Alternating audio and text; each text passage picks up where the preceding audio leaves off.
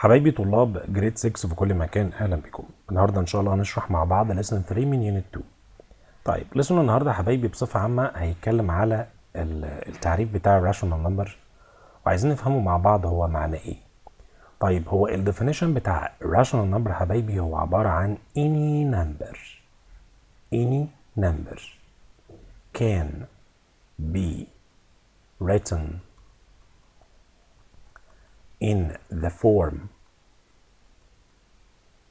a over b where b not equals zero. يعني إيه يا مستر الكلام ده؟ يعني أي fraction أو أي حاجة على هيئة a over b ده هيكون تبع ال rational number بتاعنا. بس بشرط إن ال denominator بتاعنا not equal zero يعني مثلا أي رقم أو أي fraction مثلا مستر زي كده 3 over 5 ده rational number مثلا 4 over ال 8 ده rational number خلي بالك أقول لك على حاجة. ال decimal ده نفسه يعتبر rational number برضه.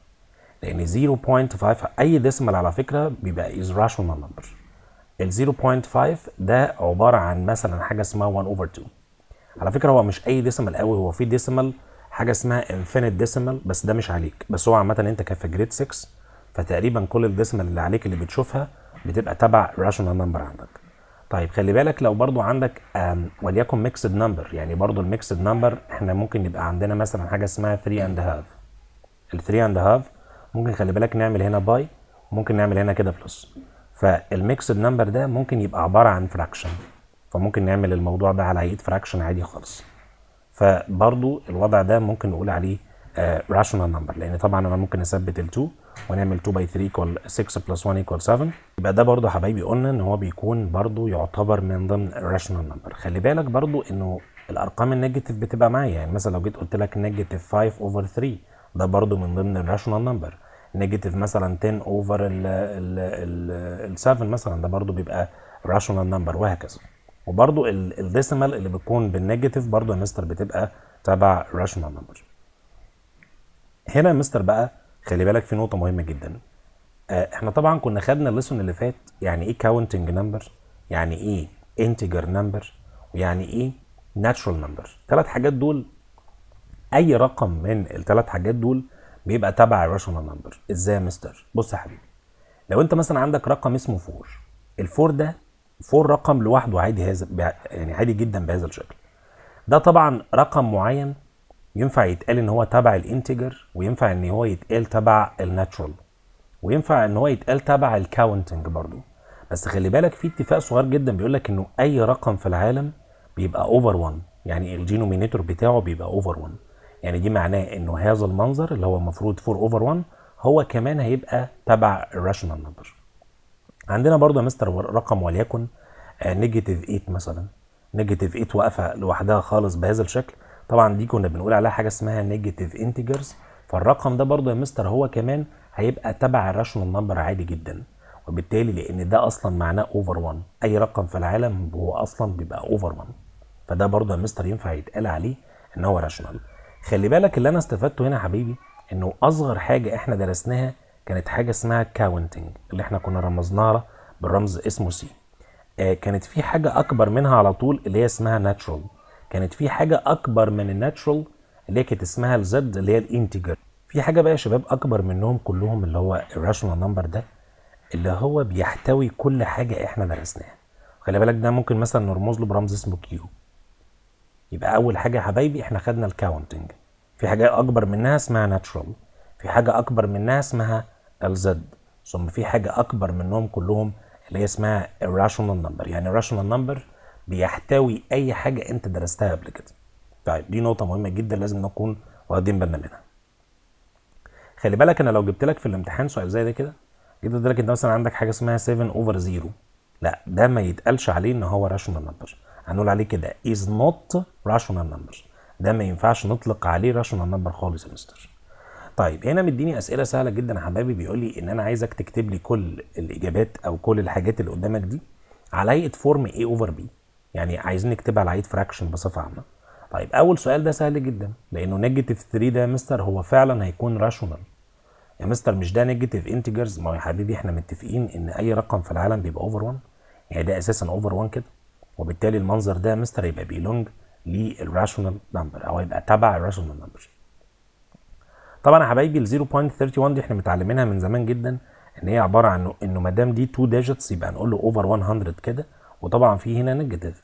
فواضح جدا إن ده برضه يا مستر هيكون تبع ال rational number وبالتالي اتكتب برضه على fraction اللي هي a over b ال mixed number طبعا يا حبايبي إحنا كنا قلنا قبل كده إن إحنا بنعمل هنا by وهنا plus يعني كنا بنثبت ال denominator بتاعنا اللي هو ال 5 ثم بنقول له 5 by 3 ب 15 ثم 15 بقى plus ال 2 يبقى الإجابة بتاعتي يا مستر هتدينا 17 يبقى اذا يا مستر ده كده خلي بالك ده اسمه improper fraction.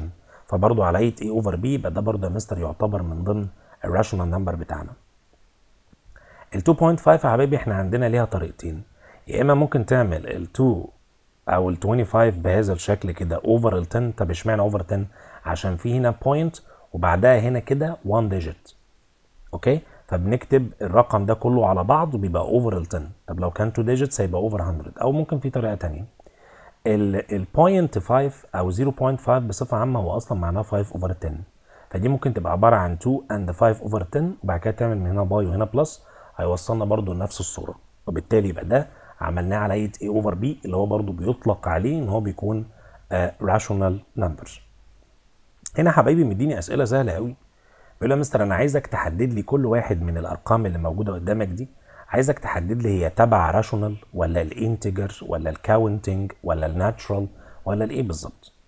بص يا حبايبي طبعا ال decimal اللي قدامنا ده واضح جدا إن هو المفروض عبارة عن 7 8 5 وما دام ده 3 digits يبقى over 1000 فيبقى واضح جدا إن ده على ايد fraction a over b يبقى واضح قوي يا مستر إن ده هيبقى تبع ال rational number الجزء اللي بعد كده برضه يا حبايبي ال 3 over 7 ده fraction عادي جدا فبرضه هيبقى من ضمن ال rational number خلي بالك بقى في نقطة مهمة جدا هنا. هو المفروض إنه negative 428 المفروض ده بصفة عامة يبقى تبع ال integer. هو هيبقى عبارة عن ينفع يتقال عليه integer لأن طبعا ده negative integers ماشي؟ وده الأفضل إن هو يتكتب إن هو من ضمن ال integer. لكن خلي بالك هو ده أصلا أي رقم في العالم زي ما إحنا قلنا بيبقى over 1 يعني اللي يجي برضه يقول لي إنه هذا المنظر is rational هقول له برضه صح. طيب خلي بالك إن negative 3 برضه هي معناها negative 3 over 1 فبرضه أنت ممكن تسيبها negative 3 كده وتقول إن هي الأفضل بالنسبة لك إن هي يتقال عليها integer وخصوصا إن هي تبقى negative integers بس لو جه واحد قال لي rational برضه هتبقى صح. طيب. هنا مستر ال zero ال zero ده على فكرة لو جيت أنت قلت لي integer تمام. لو جيت قلت لي natural تمام. لو جيت قلت لي rational برضه تمام. لأن ال zero ده معناه zero over 1 وبالتالي يا مستر هنا إحنا ممكن نقول أفضل شيء ليه إن هو ممكن يبقى عبارة عن إن هو تبع ال natural طيب هنا دلوقتي يا مستر ال negative 13000 خلي بالك ال comma المايلة دي أو الشرطة المايلة دي دي معناها إن مش decimal دي اسمها 13274 بال negative يبقى دي برضه يا مستر هتبقى تبع ال integer طب ال four ال four دي طبعا عادية خالص. يبقى الأفضل ليها إن هي ممكن تبقى تبع ال counting وبرضه على فكرة يعني ال four دي بص يعتبر تبع كل حاجة. يعني ممكن تقول لأ تبع ال counting ماشي تبع ال natural number ماشي تبع ال integer برضه ماشي تبع ال rational برضه ماشي لأن دي over 1 طيب 17000 ده طبعا رقم عالي جدا بال positive وبالتالي هذا الرقم هيبقى ممكن يبقى تبع ال integer أو تبع أي واحد من كلهم برضو ال 4.8 خلي بالك ال 4.8 دي ما ينفعش أصلا تبقى أي حاجة غير rational لأن زي ما أنت قلت لك دلوقتي إن دي معناها أصلا 4 and 8 over 10 بهذا الشكل.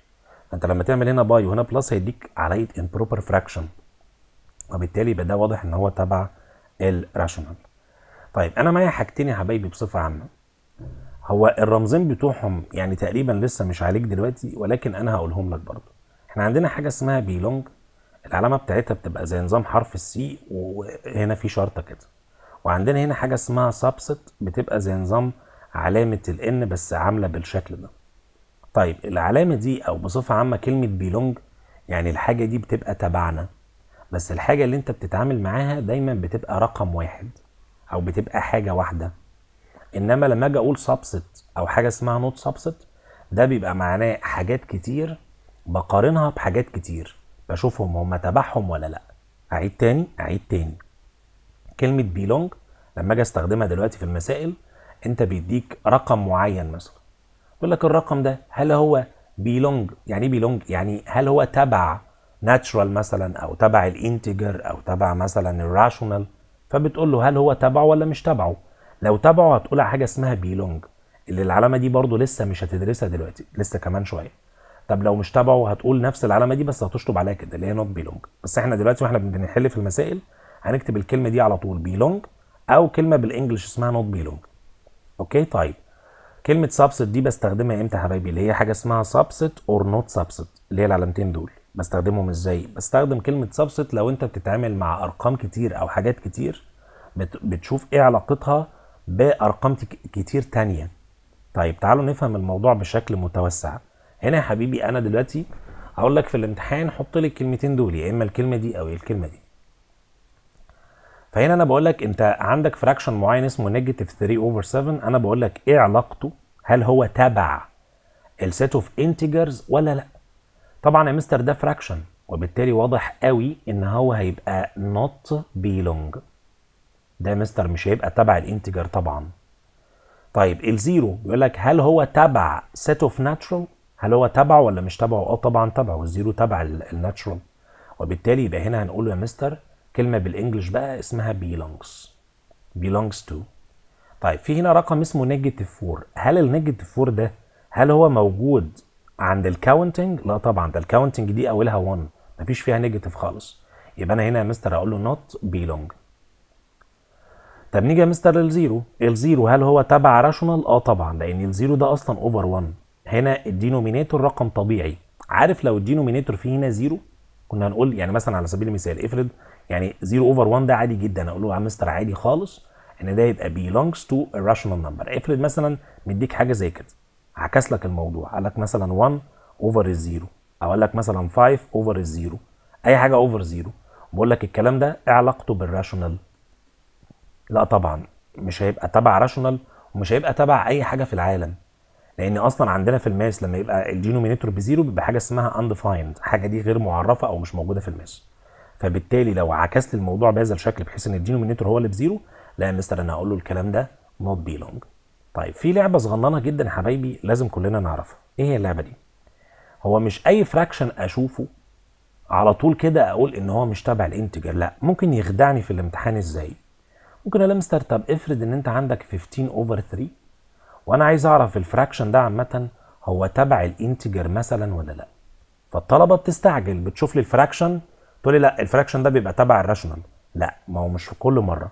يعني إيه يا مستر مش كل مرة؟ يعني ال fraction اللي مديهولك ده لو كان improper fraction بحيث إن أنت تعمل ده divided ده ويديك ناتج يبقى ساعتها الناتج ده لو كان تبع ال integer يبقى كل ده برضه هيبقى تبع ال integer بمعنى أنت لما تيجي تقول 15 over 3 ده أصلا هيديك كام؟ هيدينا مستر إجابة اسمها 5 أنا بسأل نفسي بقى هل ال5 تبع ال integer آه طبعا. خلاص يبقى بتكتب يا مستر إن الموضوع بتاعنا هيبقى هنا belongs to. اتفقنا؟ الحتة دي آه، مهمة جدا. برضو example تاني. لو أنت عندك 20 over 4 مثلا وبقول لك ده مستر أنا عايز أعرف إيه علاقته بال integer برضو يا مستر الموضوع سهل خالص. برضو أنا ما استعجلش. لما يبقى ده divided ده يعني مثلا ال 3 over 7 مستحيل يبقى ليه إجابة. ما ينفعش أصلا أعمل 3 divided 7 لكن 20 divided 4 آه فعلا هيدينا إجابة. يعني 20 over 4 اللي هي 20 divided 4 الإجابة بتاعتك برضو هنا هتدينا 5 فبلاش بقى مثلا كل مرة 5 يا عم غير المرة دي. ممكن تبقى 10 مثلا. 20 over ال 10 يبقى الإجابة هنا بتاعتك ب 2 اذا الإجابة هنا النهائية طلعت ب whole number whole number اللي هي تبع ال integer عادي جدا. وبالتالي يبقى ده هنقول عليه belongs to. اتفقنا يا حبايبي؟ طيب. يبقى الجزء اللي بعد كده بقى حبايبي برضو المرة دي بقى المرة دي يعني بيقول لك إن أنا عايزك تكتب لي الكلمتين دول يا إما كلمة subset أو يا إما كلمة not subset. طيب الكلمتين دول على فكرة بيستخدموا لما أنت بتقارن حاجات كتيرة بحاجات كتيرة. بمعنى أنا بقول لك set of integers لازم بتمسك الجزء اللي من ناحية الشمال الأول وبتسأل نفسك هل هو بيعتبر جزء من ال counting numbers لا طبعا. إذا كان ال integers number أكبر بكتير جدا من ال counting ال integers فيهم ال positive وفيهم ال negative فالمفروض ال counting هي اللي تبقى subset من ال integer يعني لو السؤال ده يا حبيبي كان جالك معكوس.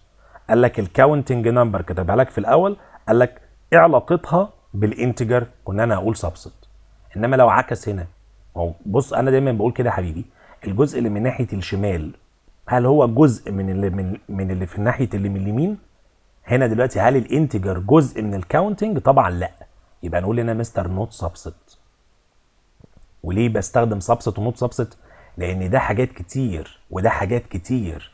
بقارن حاجات كتير بحاجات كتير يبقى بقول subset not subset لكن بقارن رقم واحد بحاجة بحاجة معينة لازم نقول belong or not belong طيب هنا برضو يا مستر نفس الموضوع. هنسأل نفسنا الحاجة اللي من ناحية الشمال دي هل هي جزء من اللي في من ناحية اليمين؟ يعني هل ال natural numbers هيعتبر جزء من ال integers آه طبعا. ال natural جزء من ال integers يبقى نقول له آه يا مستر is دي هتكون subset هنا يا مستر هل ال counting numbers برضو بنسأل نفسنا الجزء اللي في الشمال ده هل ال counting numbers هل هو يعتبر جزء من ال natu من ال rational آه طبعا. ال counting number subset of rational number. وال natural numbers subset of rational numbers برضو.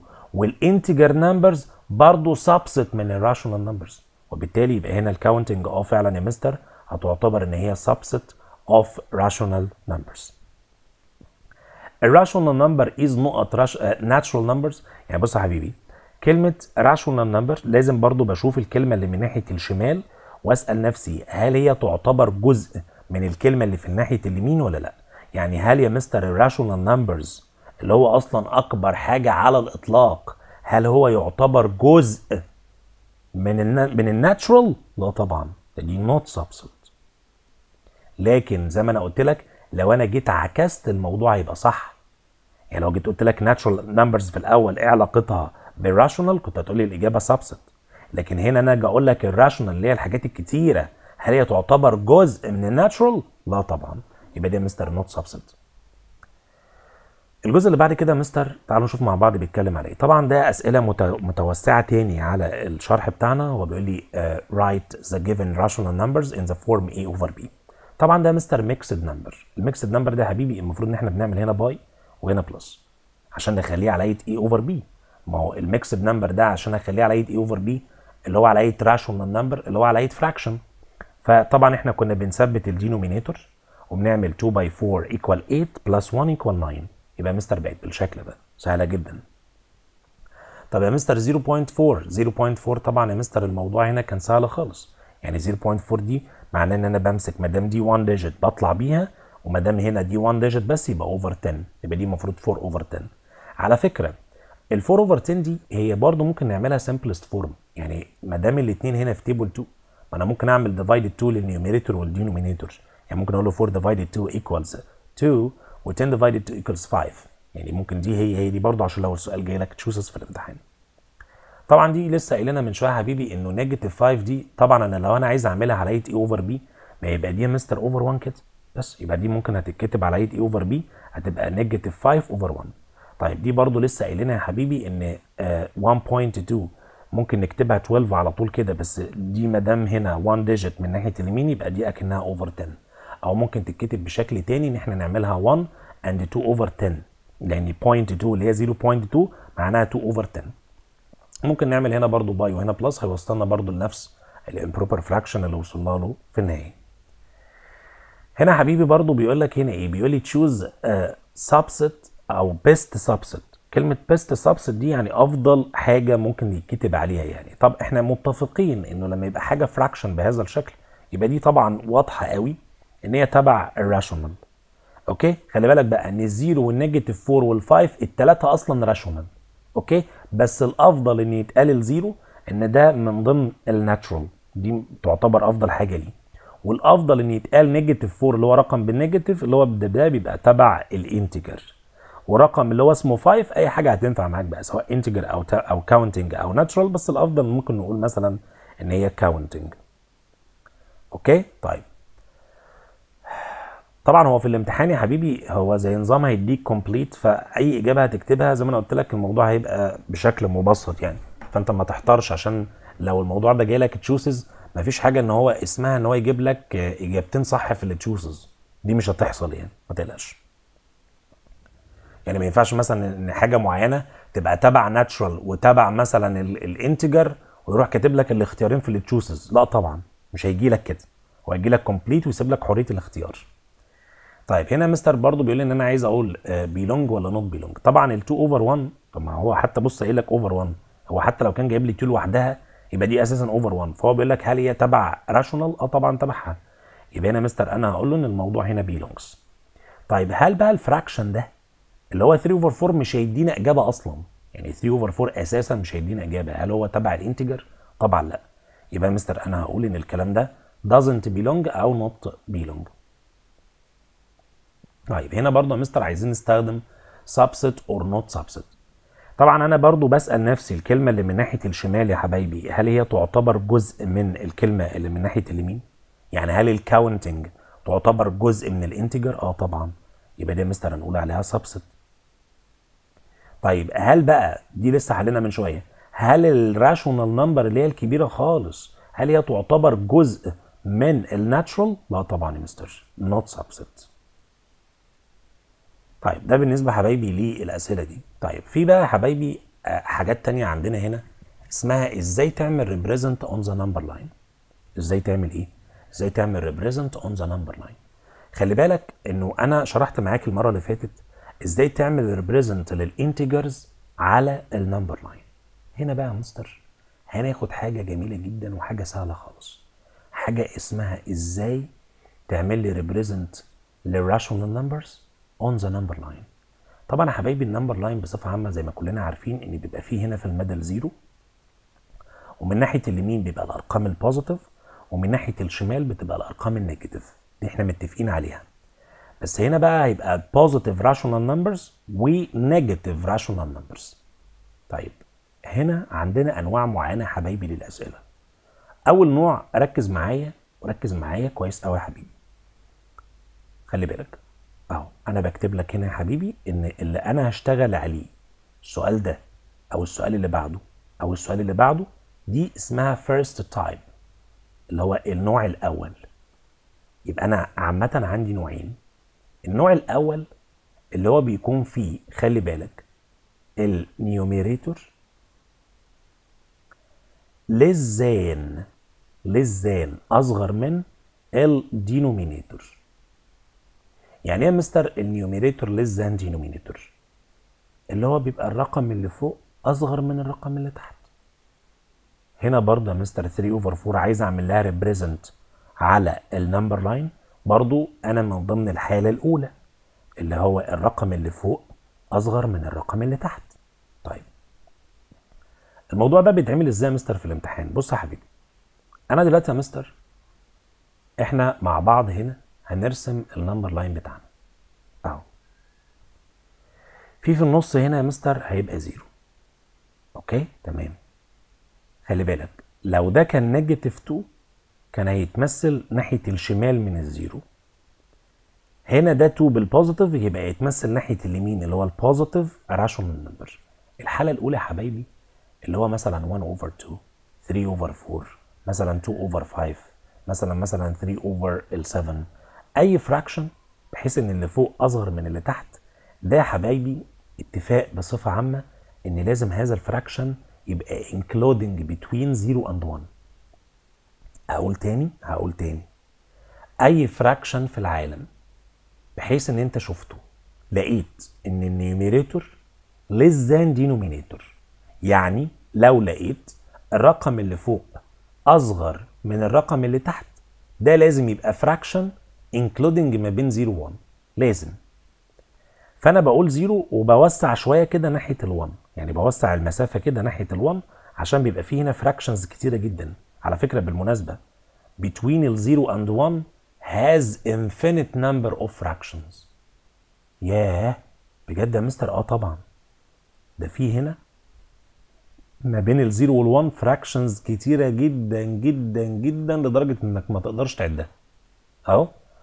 يعني أنا دلوقتي لو جيت قلت لك number على سبيل المثال number of rational numbers between 0 and 1 هتقول يا mister has infinite infinite number. عدد لا نهائي. ليه؟ لأن ال1 ده يا حبيبي ممكن يتعمل 5 over 5 10 over 10 1000 over 1000 وال zero ده ممكن يتعمل مثلا 0 over 1000 فيبقى fraction كتيرة جدا ما بينهم. فهنا دلوقتي أهو إحنا زي ما أنا قلت لك يا حبايبي زمان أنت من خواص ال1 ال1 ده ممكن تتعمل 1 over 1 2 over 2 3 over 3 4 over 4 5 over 5 6 over 6 7 over 7 8 over 8 ممكن نقول 100 over 100 1000 over 1000 1 مليون over 1 مليون كل ده بيدينا 1 وال zero بيبقى zero over برضو اي حاجة في العالم بتدينا zero. فهو بقى دلوقتي يا حبيبي على حسب ال denominator اللي موجود معانا هنا. يعني مثلا ال denominator هنا 2 يبقى ال1 ده هيتعمل 2 over 2 طب لو ال denominator هنا 3 هيتعمل 3 over 3 طب لو ال denominator هنا 4 هيتعمل 4 over 4 طب لو ال denominator هنا 5 هيتعمل 5 over 5 وهكذا. طب هنا يبقى 0 over كام؟ لو ال denominator هنا 2 يبقى 0 over 2 طب لو ال denominator 3 يبقى 0 over 3 طب لو ال denominator ب 7 يبقى 0 over 7 وهكذا. فهو كل الموضوع حبيبي إن 0 over 2 بعدها على طول هنا كده هيبقى كام؟ هيبقى 1 over ال 2 ثم 2 over 2 قدامك اهي بس يبقى ده مكان ال half بنروح عاملين سهم كده بنوضح إن ده مكان ال half بالظبط. طب يا مستر معلش ممكن حضرتك تفهمني الموضوع بشكل تاني؟ أو ناخد example تاني؟ خلي بالك إن أنا كل ده بحل في الطريقة الأولى. يعني أنا قلت زي ما قلت لك إحنا عندنا طريقتين للحل. هنا مستر 3 over 4 نفس الموضوع يا حبيبي أدي ال number line بتاعنا. وأدي يا مستر هنا zero وخلي بالك بقى ده يا mister بال positive يبقى يمثل ناحية اليمين. عارف لو كان بال negative كنا نشتغل هنا ناحية الشمال. يعني كنا مثلا نكتب هنا zero وهنا negative 1 ونبدأ نشتغل الشغل زي ده بالظبط. لكن هنا أنا دلوقتي بتعامل مع 3 over 4 يبقى ده positive يبقى هتعامل من ال zero لمين؟ لل1 ال1 هوسعه شوية كده. وكنا بنقول يا حبيبي قلنا يا مستر في حالة إن اللي فوق أصغر من اللي تحت ال1 ده يا مستر هيتعمل على حسب ال denominator هنا ده 4 يبقى ال1 ده 4 over 4 وال zero ده هيبقى 0 over 4 هنبدأ بقى نمشي واحدة واحدة. بس بص هو المفروض إن القطعة دي تقسم لأربع قطع متساوية. يعني مثلا تحاول إن أنت تعملها بحيث إن القطعة دي تبقى زي القطعة دي تبقى زي القطعة دي تبقى زي القطعة دي. ليه؟ لأن هم هنا أربع قطع من ال zero ل 4 فالمفروض إن هنا طبعا في هنا 1 over 4 ثم في هنا 2 over 4 ثم في هنا 3 over 4 طبعا نروح عاملين سهم كده عند ال 3 over 4 يبقى ده مكان بالظبط ال represent بتاع ال 3 over 4 كده إحنا حلينا السؤال بمنتهى البساطة. طيب example تاني برضه حبايبي نفس الطريقة برضه يا مستر بالظبط لأنه أنت دلوقتي لما أجي أقول 2 over 8 على فكرة بقى بدل ما أنا أقعد أقسم ما بين الزي خلي بالك ما هو 2 over 8 يعني اللي فوق أصغر من اللي تحت يبقى أنا كل ده لسه في ال first type كل ده لسه أنا في النوع الأول وما دام أنا في ال first type يبقى طبعا لازم يمثل ما بين ال zero وال1 يعني هنا آدي مستر zero هنبعد شوية مثلا هنا كده لل1 فبدل ما أنا اقعد اقسم ممكن ال denominator هنا 8 على فكرة ممكن لو جه واحد قال لي 8 over 8 برضه صح ويقسم لي القطعة دي ل 8 حتت. بس لو ال fraction بتاعك ليه simplest form اشتغل عليه أفضل. يعني اللي يعملها لي بالطريقة الأولى إن هو يقسم القطعة دي لثمان قطع بعد كده اللي هو مثلا ال1 ده 8 over 8 وال zero ده 0 over 8 بعد كده 1 over 8 بعد كده 2 over 8 ويروح عامل عليها سهم ويكمل لآخر برضه صح. اللي هيجي يعمل simplest form إنه ما دام الرقمين دول في table 2 أنا ممكن أعمل دي divided 2 دي divided 2 يبقى 2 divided 2 equal 1 و8 divided 2 equal 4 فهنا دلوقتي يا حبيبي هنبص على ال denominator اللي هو ال 4 فال1 ده هيبقى 4 over 4 وال zero ده هيبقى 0 over 4 طبعا برضو هنقسمها لأربع قطع متساوية. بس هنا خلي بالك بعد ال 0 over 4 على طول يبقى 1 over 4 خلاص. يبقى ده ال represent بتاعي يا مستر لأن ال 1 over 4 هو هو 2 over 8 هرجع وأقول لك إن اللي هيجي يعملها لي بالطريقة دي برضو هتبقى صح. يعني هنا مثلا يا حبيبي هنا 0 أهو وبعدنا شوية مثلا هنا عند ال1 هنقسمها بقى لثمان حتت. أدي 1 2 3 4 5 6 أهي 1 2 3 4 5 6 7 هنا مثلا دي كده 8 8 حتت أهي. okay؟ فال1 ده ممكن يتعمل حاجة اسمها 8 over 8 وال zero دي ممكن تبقى 0 over 8 طبعا بعدها هنا 1 over 8 ثم هنا 2 over 8 ثم 3 over 8 ثم 4 over ال 8 ثم 5 over ال 8 بعد كده 6 over ال 8 وهنا 7 over ال 8 وطبعا هو كان عايز ال 2 over 8 يبقى ده مكانه يبقى ده ال represent بتاع ال 2 over 8 برضه هيبقى صح. اللي يعملها لي بالطريقة دي صح واللي يعملها لي برده بالطريقة دي برده صح. حبايبي للنوع الثاني اللي هو اسمه second type النوع الثاني ده حبايبي هو نوع سهل جدا. ليه يا مستر. هو بيقول لك مثلا 1.5 3 and quarter يعني حاجات من النوع اللي هو النوع البسيط. خلي بالك هو في في أنواع أصعب من كده بس دي لما ناخدها prep 1 ممكن تبقى ناخدها معاك في prep 1 بس النوعية اللي هي البسيطة دي 1.5 آه مثلا quarter آه الحاجات اللي من النوعية دي يا حبايبي بتبقى نوعية بسيطة خالص. يعني أنت دلوقتي مثلا أنت معاك في النص هنا zero okay؟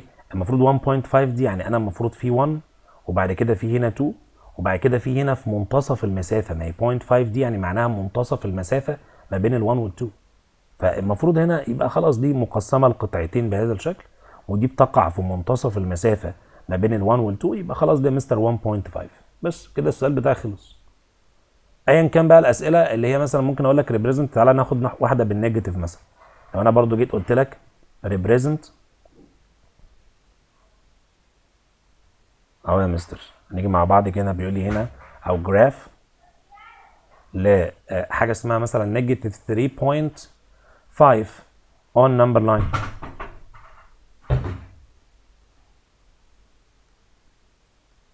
فهنا دلوقتي برضه حبايبي بمنتهى البساطة أنا معايا دلوقتي ال number line يا مستر أهو. وطبعا في في النص هنا zero طبعا أنا عايز أوصل لإيه؟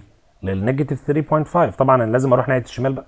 هنا مش كل مرة أروح بال positive خلاص يبقى في هنا negative 1 في هنا مستر negative 2 في هنا negative 3 خلي بالك negative 3.5 يعني ما بين ال 3 وال 4 أهو. يبقى ثم هنا كده negative 4 طبعا في منتصف المسافة ما بين ال negative 3 وال negative 4 اللي هي دي كده يبقى ده مكان يا مستر ال 3.5 يبقى كده عملت represent للحاجة بتاعتي.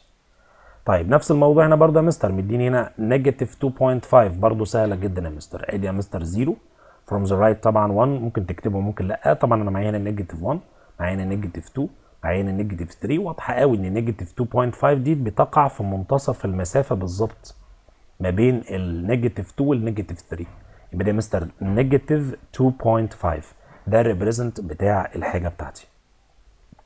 ساعات بقى هنا حبايبي بيديني حاجة من نوعية الشكل ده اللي هي إيه؟ بيقول يا مستر negative 3 and quarter هقول لك يعني إيه ال quarter ودي لسه أصلا عاملينها أصلا من شوية كانت بتتعمل إزاي. بص يا حبيبي هو أنت دلوقتي في النص هنا في zero okay؟ المفروض هنا من ناحية ال left أدي negative 1 أدي negative 2 أدي negative 3 okay؟ وبعد كده negative 4 Okay؟ لأن negative 3 and quarter هتبقى including ما بين negative 3 and negative 4 طيب أنا كل الموضوع إن أنا هقسم ما هو خلي بالك دي quarter. يبقى أنا هقسم المسافة ما بين negative 3 و negative 4 لأربع أجزاء متساويه فيبقى مثلا في هنا قطعة 2 3 4 أهو القطعة دي زي القطعة دي زي القطعة دي زي القطعة دي بهذا الشكل. وبالتالي المكان ده بالظبط هيبقى negative 3 and quarter خلي بالك المكان اللي بعده ده negative 3 and 2 over 4 وده negative 3 and 3 over 4 وده طبعا negative 4 على طول لأن أنا كل مرة بزود quarter يبقى ده mister represent بتاع الحاجة اللي هو المفروض كان عايزها مني. طبعا الموضوع بقى هنا belong و not belong برضو نعيده تاني كده سريعا. هو بيقول لي إن negative 7 إيه علاقتها بال natural؟ طبعا هنقول إن هو not belong.